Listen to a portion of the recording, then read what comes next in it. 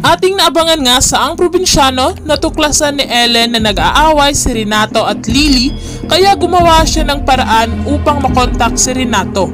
Dahil panigurado ay naghahanap ito ng bagong kakampi upang maabswelto ang lahat ng kaso nito sa bansa.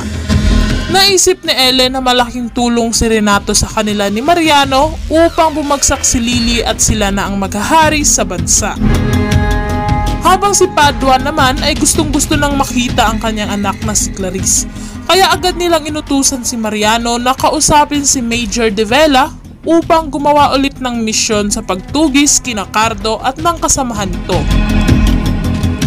Samantala, plinano na ng Task Force Aguila kung paano nila maligtas sina Diana Oligario at Teddy.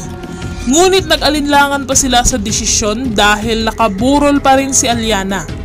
Kaya bago nila simulan ang pagligtas kay Teddy at Diana, ay ililibing muna nila ito. Magtagumpay kayang iligtas ng Task Force Aguila sina Diana Oligario at Mang Teddy sa kamay nina Lily at Padua? Para sa susunod na update ay mag-subscribe lamang sa aking YouTube channel.